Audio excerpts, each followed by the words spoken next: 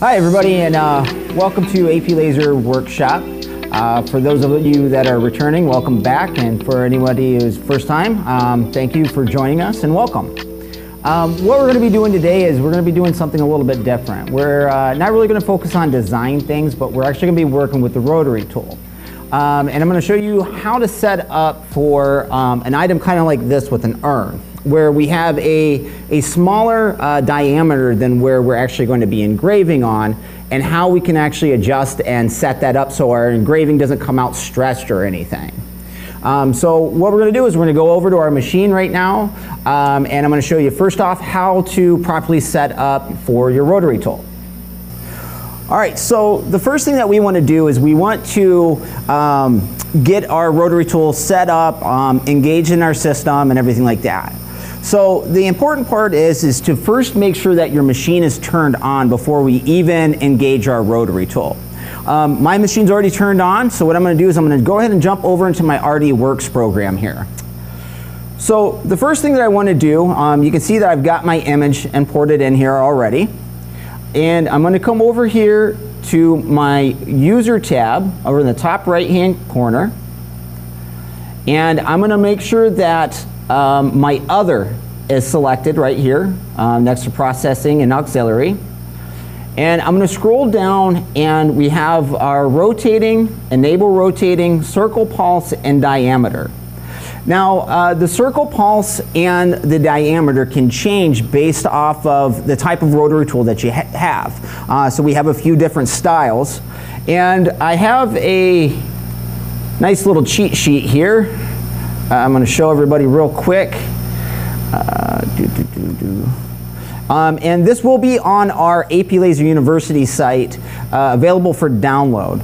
So you can quickly see the type of rotary tool that you have, the circle pulse based off of a three-phase or two-phase motor, um, and also the diameter that it needs to be set with. Um, we're going to be working with our uh, retro extender rotary tool today. Um, and so I'm working with a three-phase motor, so it's going to be 5,000 for my circle pulse and a diameter of 1.46. And that's what I have uh, preset in here right now. So the first thing I want to do is I want to click on read to read the information in my machine. And then I'm going to go ahead and switch from enable rotating from no to yes. And then I'm going to click on write to write that information back to my controller. Um, from here, I'm going to go ahead back to my machine here. I'm to power off my machine and I'm going to flip the toggle switch on the side of the machine um, from flat work to rotary. Or um, if you have one that says y-axis and rotary, we're going to switch it to the rotary. I'm going to go ahead and power on my machine.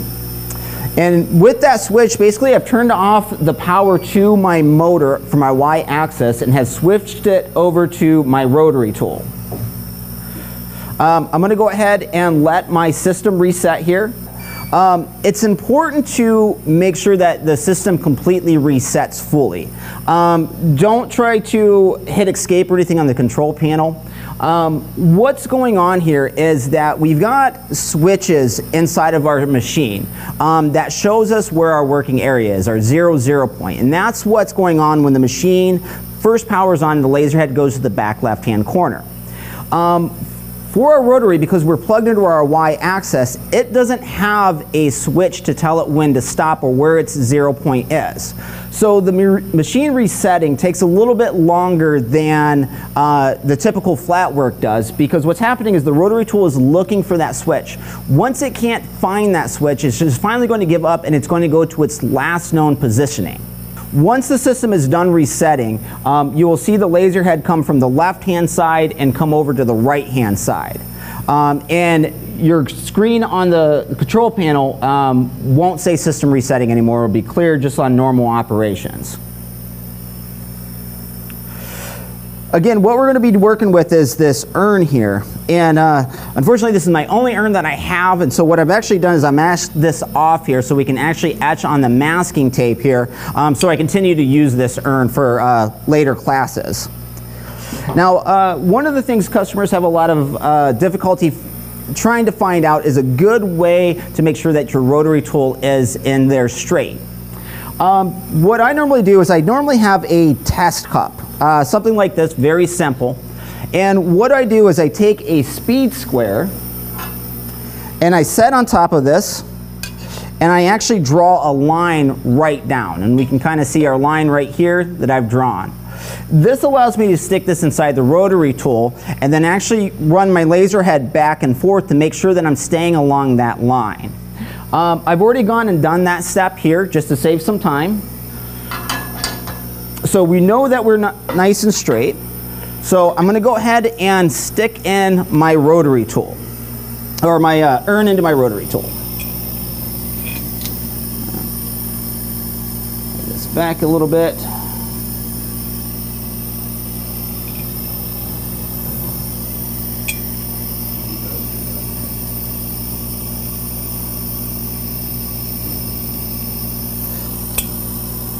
Now one thing that you want to make sure too when you're setting up your piece inside your rotary tool is you don't want to pinch it too tight.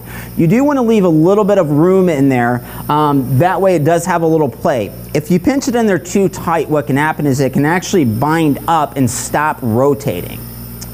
So now that I've got my piece inside here, what I'm going to do is I'm going to go ahead and bring my laser head forward. Because my Y motor is not engaged, um, I can manually move my rail front to back here. Then I'm going to go ahead and take my focus stick and make sure that I'm in focus. Drop down my laser head slightly. Bring my laser head down to the right hand side. And I'm going to check my focus here. And you can see that I'm out of focus. So I'm going to use my adjuster knob on the side here and raise this back end up a little bit.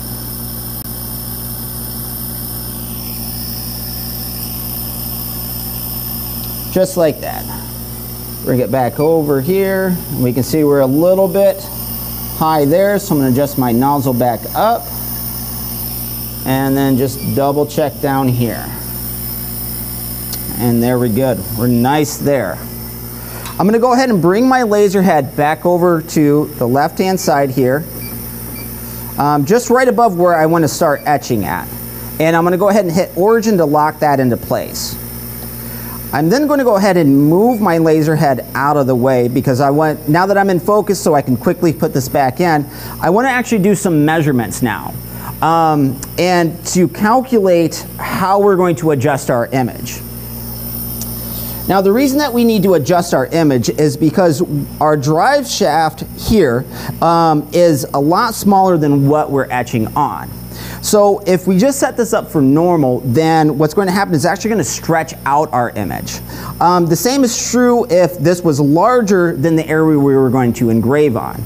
Um, again, we do have a sheet on our AP Lazer University site um, that will give you the formula and the directions to do that, but we're actually going to do this right now. Um, the formula that we're actually doing is doing our drive um, and uh, divide that by our working area and then multiply that by the size we actually want this on. So the first thing that we're going to do is we're going to calculate for our drive in, which is going to be a diameter of four inches. I'm then have to calculate my diameter here. So because this is round, what I actually have to do is figure out my circumference. So I'm going to take my fabric measuring tape here, and I'm measure out and I'm about 20 and 1 8 inches on a circumference. To change that into a diameter, what I'm actually going to do is take my circumference and divide that by pi, which is 3.14. Um, I've got a sheet here on my laptop. So we have our drive area, which is going to be 4. We're going to divide that by our work, which is if we bring up our calculator here and do 20.125, which is 20 and 1 eighth, and divide that by our 3.14 equals 6.4. So our work is going to be 6.4 And the size that I want this to etch out on is going to be five inches. And I have that set right inside here. So we have our size on our image at five inches by 1.426. So we're going to multiply that by 5. So we have 4 divided by 6.4 times 5 equals 3.125.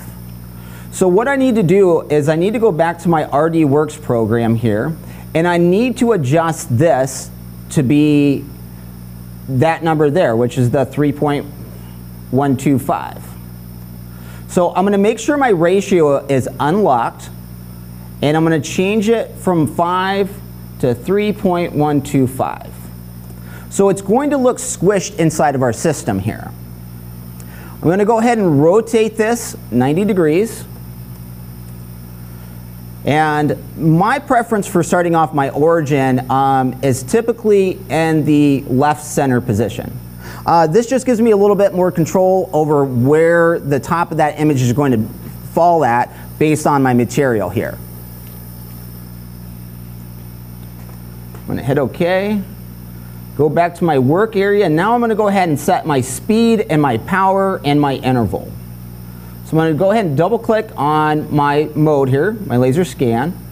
Um, I've got this already set up, so I'm to do a 15 speed, a 5 power, and I'm going to go, I typically would go with a little bit higher of an interval, um, but again, just to save on some time, I'm going to space that part a little bit more and just do a 200 DPI or an interval of a 0.005. I'm going to head and hit OK and come down here and download. Hit OK. Duplicate over the old one. So my file's downloaded now. Um, now I'm going to go ahead and put my urn back inside the rotary tool. Already have this focused. I'm going to go ahead and hit escape because I'd already set my origin spot. Bring it back over here.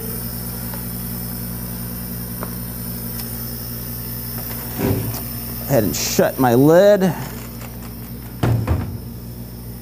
And go ahead and hit start.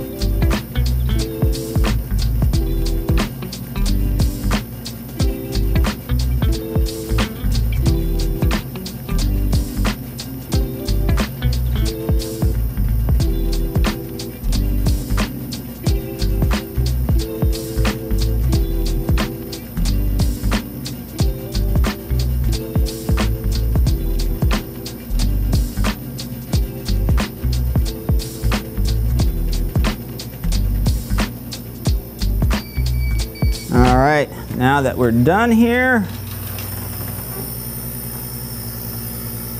move my laser head out of the way. We're going to take our urn out and take a measurement to see what we have here.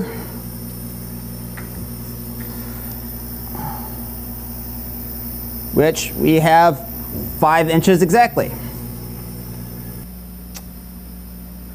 Um, Mike and uh, Rachel are asking, uh, where do I plug into the laser?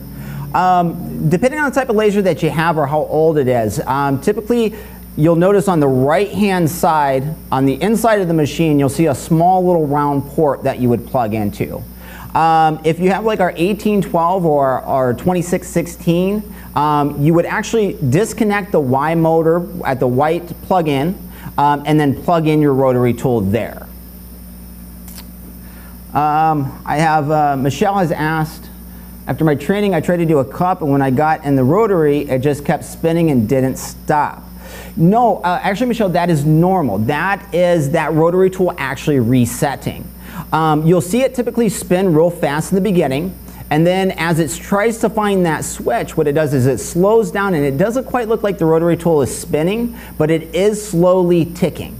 Um, just again, make sure that you let the system completely reset um, before carrying on. And again, um, as always, we always do have technicians available. Um, so at any time you have any questions over this process or having difficulties with your rotary tool, by all means, please give us a call. Um, Lisa is asking, um, how do I verify the resizing of the artwork after I calculate the formula? um, that I changed the width on. Um, so basically, you're going to want to do this formula with anything that is sized differently. So on the, the drive end, if that size is larger or smaller than the area you're going to be engraving on, you want to always do this formula. If it's just a standard tumbler like a Yeti mug or anything like that, there's no need to do any kind of formula like that. Um, and I know we do have an upcoming video um, that we're going to be walking over like the, doing a Yeti on doing a full circumference engraving too. So please make sure to join that class as well. Um, Mike and Rachel asked, are there steps outlined in the downloadable manual? Yes, there are step-by-step -step instructions um, in our owner's manual that will walk you right through. Um, the only thing you want to really pay attention to is the type of rotary tool that you have so you can make sure that you have the correct circle pulse and diameter and put it inside there. Um, so letters up, the first cup was perfect. One thing I changed was the cup and the letters bunched up. Okay, so Felicia is asking, it's a very good question. Um, when basically she had uh, she had done a bunched up letters is what she got. So she did one cup perfectly fine. Um, she went to another cup and that was different. Um, so um, Felicia, on certain things like that, without actually seeing the image, it's hard to tell exactly what happened there. Um, but if you did resize that image, or you didn't resize that image and you changed out the tumbler and it was a different size tumbler, that could have very well caused your issue there. Um, Michelle is asking, are, uh, are the circle pulse and diameter going to be the same for everything on my rotary? Um, yes, they are. So once you actually, you have your numbers for your specific rotary tool, those numbers are never really going to vary at all. Um, everything you're going to do is all going to be on the image size on resizing that to make sure that comes out correctly. Um, again, I appreciate everybody joining. Um, hopefully you found this um, informative um, and hopefully help you out with some of the problems and issues you may be having. Um, until next time, you guys have a great day.